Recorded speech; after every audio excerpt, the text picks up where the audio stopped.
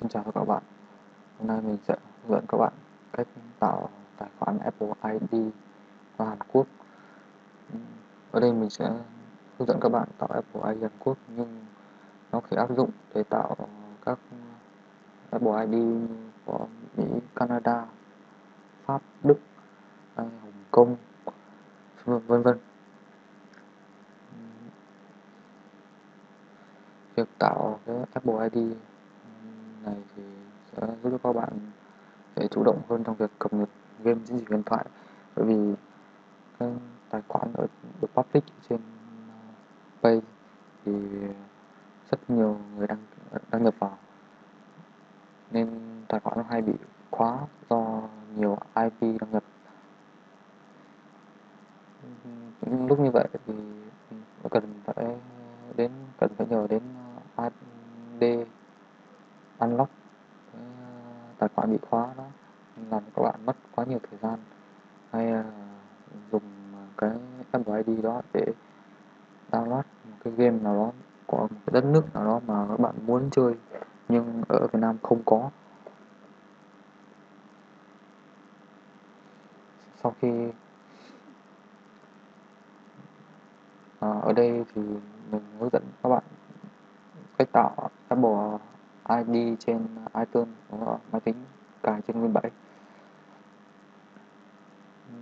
mình khuyên các bạn nên tạo Apple ID thì nên tạo trên máy tính thì nó dễ dàng hơn. Nhưng cũng không phải là chỉ có máy tính mới tạo được. Trên điện thoại chạy iOS vẫn ờ, tạo được bình thường. Đây là giao diện khi mới bật iTunes lên sau khi bật iTunes lên thì các bạn vào sử dụng Music, chọn Edit Menu, click vào cái dòng Apps, click và nhấn Done. Đó, click một lần nữa vào Music, chọn Apps.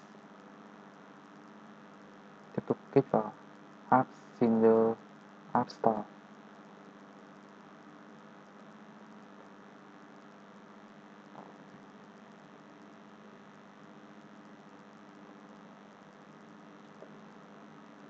Tại máy ảo của mình thì đang chạy trên um, hiện tại thì viên bản của mình đang chạy trên máy ảo.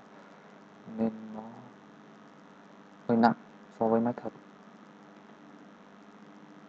Nặng nên cái thời gian chờ của nó khá là lâu nên hy vọng các bạn chờ đợi.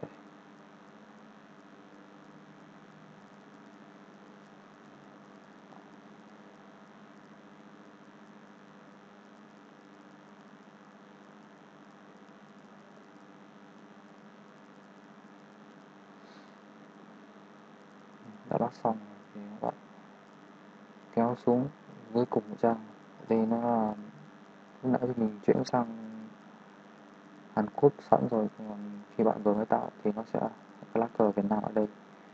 Kích vào đây.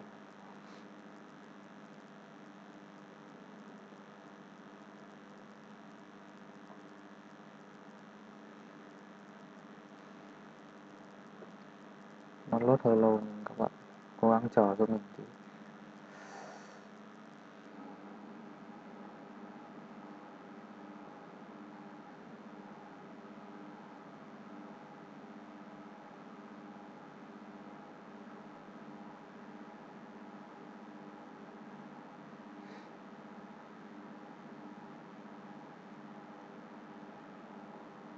thế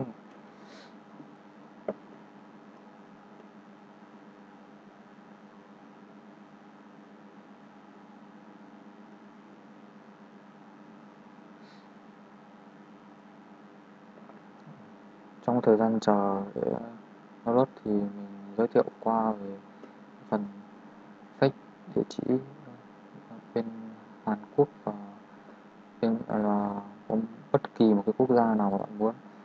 Thì để fake cái địa chỉ của Hàn Quốc thì bạn vào trang randonprofile.com sau khi vào trang này thì ấn vào đây. Hàn Quốc này. Kích vào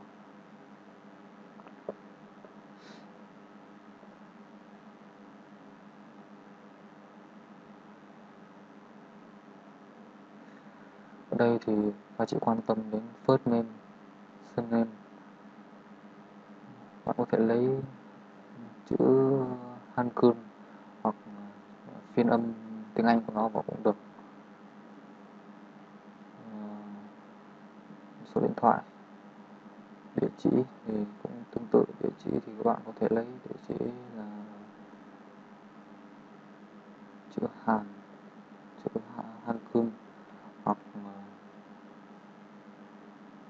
chữ phiên âm tiếng Anh. Và quan tâm tiếp theo chính là zip code. Cũng tương tự như vậy thì để fake một cái tên cách một cái địa chỉ ở nước Mỹ thì vào trang fake name manager, bạn vào Google fake name.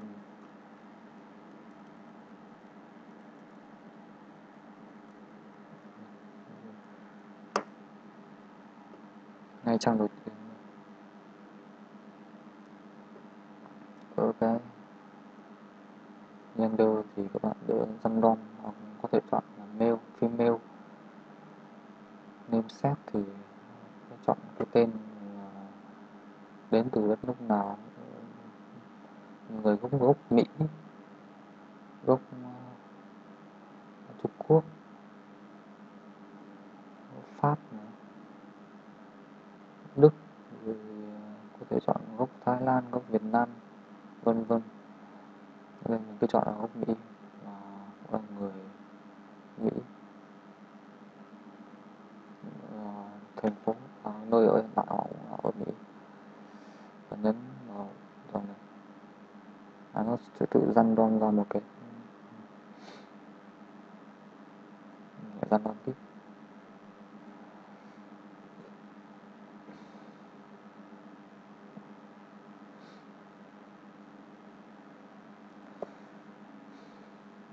Đây là cái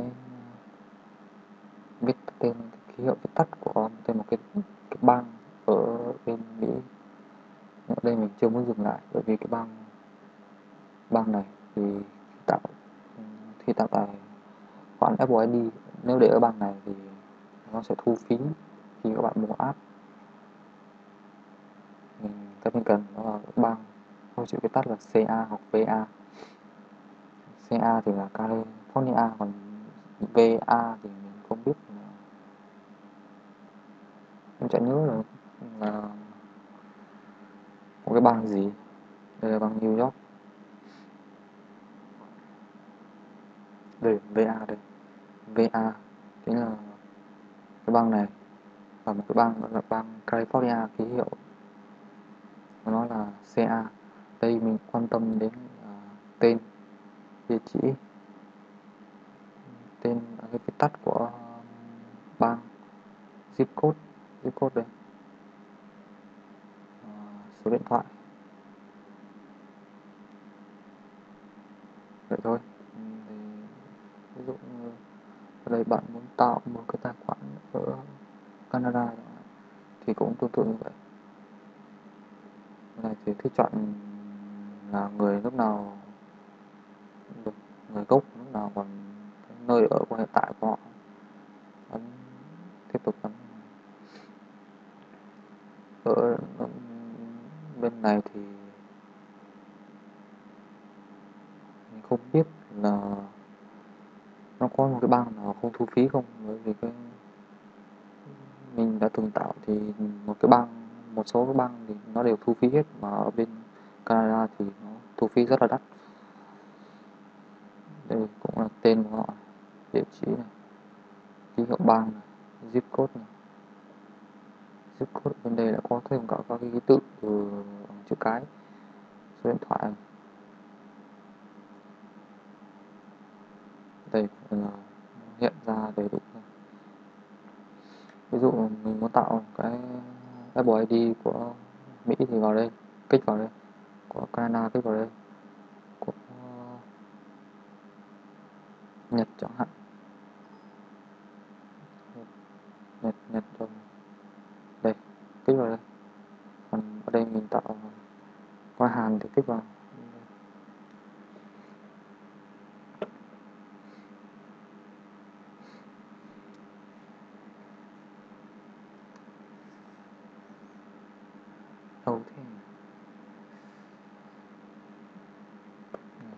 Download xong khi mà các bạn thấy có cái lá cờ của Hàn Quốc đây thì tức là cái cái à, cái, cái item của bạn nó đang ở bên Hàn Quốc. Và bây giờ bạn tạo thì nó sẽ là Apple ID của Hàn Quốc. Đây bạn kéo lên cái top up free. Bạn chọn bởi vì mình muốn tạo một cái ừ, Apple ID miễn phí nên mình cần phải vào cái top up uh, top up free. Kích vào get chọn vào create new Apple ID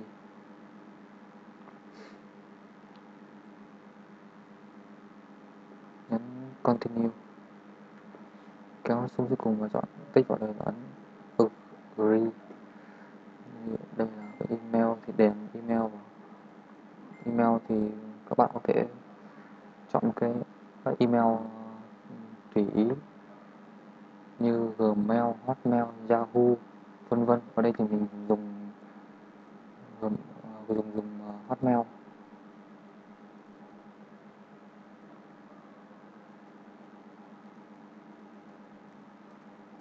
Password thì bạn nên nhớ password. Và nó yêu cầu phải ờ, tối thiểu 8 ký tự và trong đó có một ít nhất một ký tự viết hoa và có cả chữ số. Nên trên pay mình có đặt password là đừng đổi, đổi pass 123 à, ờ, chữ D đứng đầu là viết hoa và cuối uh, cuối pass thì có ba chữ số là 123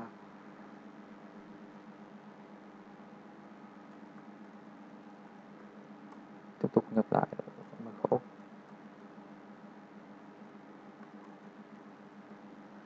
đây, chọn câu hỏi bảo mật đây thì các bạn cứ chọn tùy ý, nhưng mà vẫn cũng phải nhớ. Để sau này mất mất tài khoản thì các bạn có thể khôi phục được.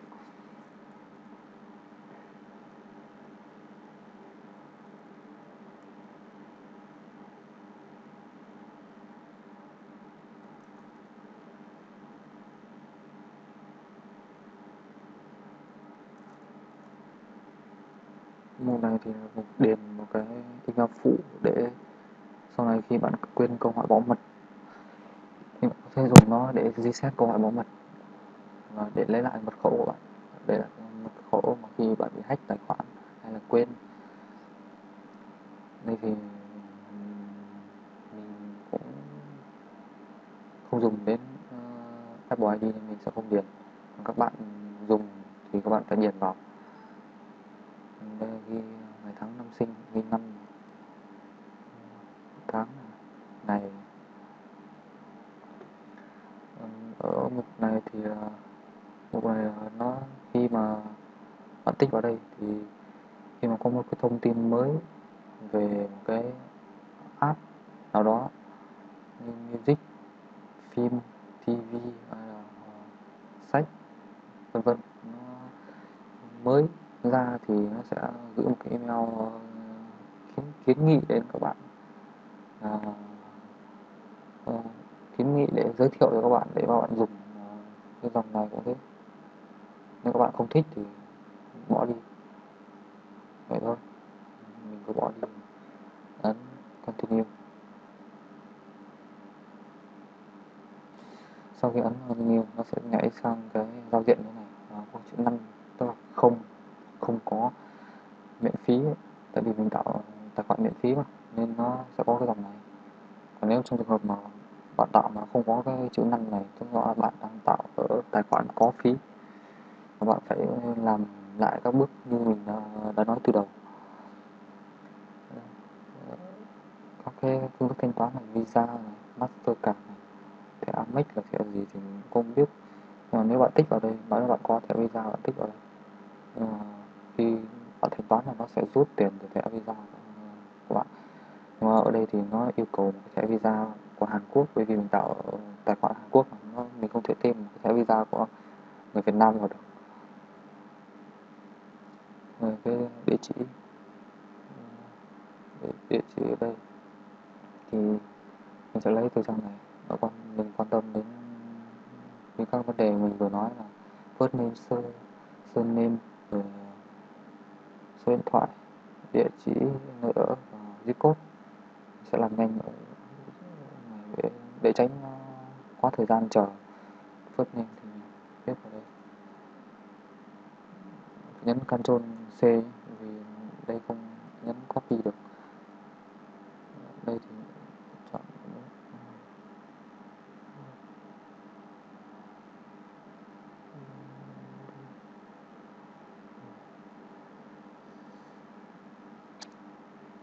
chọn copy copy được mà ấn Ctrl C được tại vì mình cài cái phần mềm tiếng Anh nên nó làm nó che mắt nó zip code chưa copy lên Ctrl C phát vào đây street là đường, tên đường.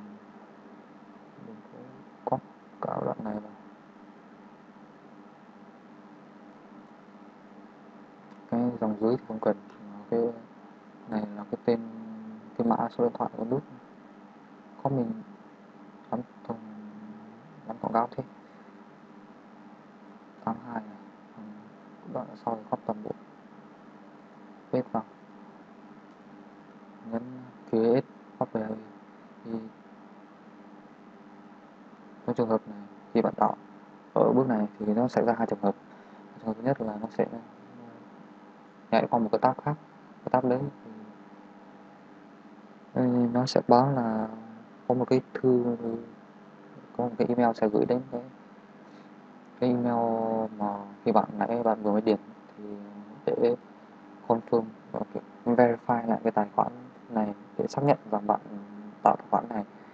Và nếu bạn không xác nhận thì ừ, tài khoản sẽ không được chấp nhận nếu uh, còn trường hợp thứ hai là nó sẽ hiện một cái dòng báo lỗi ở này. Báo lỗi đây. Thì trong trường hợp đó bạn phải fake IP thì mới có thể tiếp tục nhấn create FYD được. Vì khi đây là trường hợp đấy thì mình thường gặp ở các cái tài khoản Apple ID được tạo ở Việt Nam nhưng mà lại muốn tạo tài khoản ở nước ngoài quá nhiều lần trên một máy tính nên mình ấn create bùa ID nhanh để sợ nó quá thời gian chờ. Quá thời gian chờ thì nó sẽ báo phải làm lại. Đây, như thế này là đã thành công mà mình không cần phải fake IP nó có một cái email. Rồi gửi đến cái địa chỉ ừ, email này. Và nó yêu cầu bạn phải uh, verify trong trường hợp bạn không nhận được cái email gửi đến thì bạn nhấn vào đây để nó gửi lại.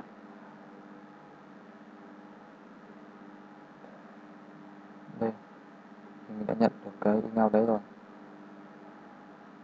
Đây chính là cái email mà mình vừa nhập đấy nhấn đây mình sẽ ấn vào verify now.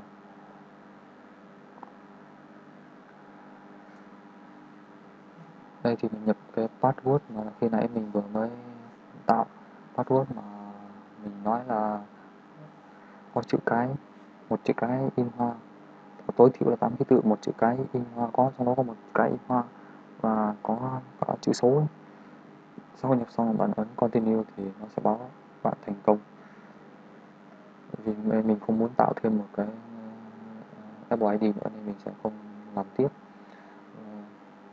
quá trình hướng dẫn tạo Apple ID của mình đến đây thì đã xong. Mình hy vọng là video sẽ giúp ích được cho các bạn. Khi tạo một cái Apple ID một cái quốc gia mà mình muốn mình xin được kết thúc video tại đây. Cảm ơn các bạn đã theo dõi.